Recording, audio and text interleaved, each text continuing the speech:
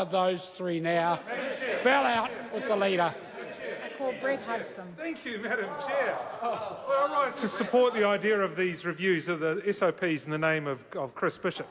Uh, and they are really just a selection of options for that review body. Before I move into that, I just want to make some comments on the last contribution from the Minister and the Chair. He started off by suggesting that there is already an avenue for review after each election through the Justice Select Committee. There are a couple of problems with that, and that is that the, the terms of that review are broadly speaking subject to the will of the members of that committee. So there's no way of mandating that this legislation or the provisions that would be enacted through this bill would get reviewed at any of those uh, post-election reviews. And the second point is actually the purpose of those reviews and leads to a question for the Minister because those reviews are the purpose is to review the previous general election and potentially local body election. And yet, the provisions that this bill would enact are not about elections. They are about what transpires between elections.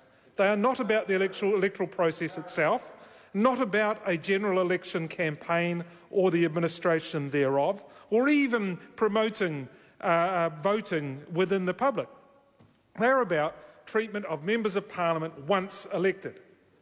Uh, so that, quite frankly, the Justice Select Committee is not the right vehicle to entertain a potential re review of these provisions. The other point that Mr Little made was uh, an attack on my good colleague, the Honourable Dr Nick Smith, uh, for some comments he allegedly made about public servants.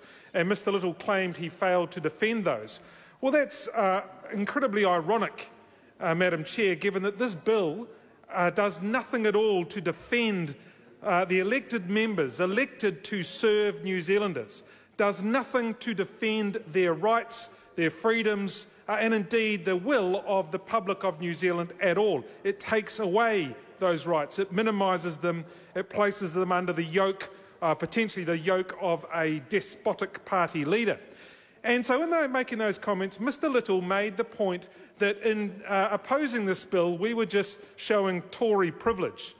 Well, if that is the case and that was deemed parliamentary to make that claim, then I think it is only reasonable, Madam Chair, that we could look across at members opposite and the minister whose bill this name is under and say the provisions of this bill are seeking to apply Stalinist democracy to New Zealand. Now, on to the, the point of the review. I actually think the reviews are an extremely good idea, uh, given that the numbers would indicate that this bill is probably going to pass. The question then comes what body should do the review? And I have been swayed by some arguments I've heard today about the Electoral Commission being the right body to do that because principally they're an, uh, an independent uh, government entity uh, and their whole reason for being is around the electoral system and confidence in the system. But it would be very easy, I think, to accept and have confidence in the work the Commission might do uh, in the review of, these, of the provisions that this bill would enact on a, a periodic basis. But I'm not convinced that they are, of the choices that are available to Parliament, I'm not convinced that they are the best of the bodies to do that. And that is because, principally, as the point I made earlier around the Justice Select Committee and their post election reviews every three years, the Electoral Commission is, is primarily responsible and interested in the electoral process itself uh, and administering how elections are conducted.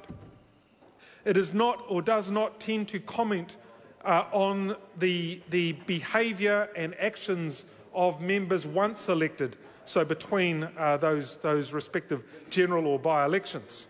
So I would actually contend that the Law Commission would probably represent a better body, uh, a body of, uh, of expertise and, and wisdom, uh, and, and, which has a much broader, obviously, remit, uh, and I would argue in a better position to take a very holistic and broad view of, not, of the provisions of the bill and how they have played out over the previous three years, how they might have worked in practice, uh, the perceptions they may have instilled, particularly amongst the public, about how did they affect members' behaviour over the term. Was there an apparent silencing of members? Did they seem reticent uh, to put forward their own views, perhaps for fear of the action that a party leader might take against them. Uh, so I would argue that the Law Commission, uh, rather than the Electoral Commission, will give us a, a, a broader and more holistic and deeper view uh, on how the bill or the provisions were operating in practice, Madam Chair. I call the Honourable Alfred Ngaro. It's great to be able to be given the call uh, in the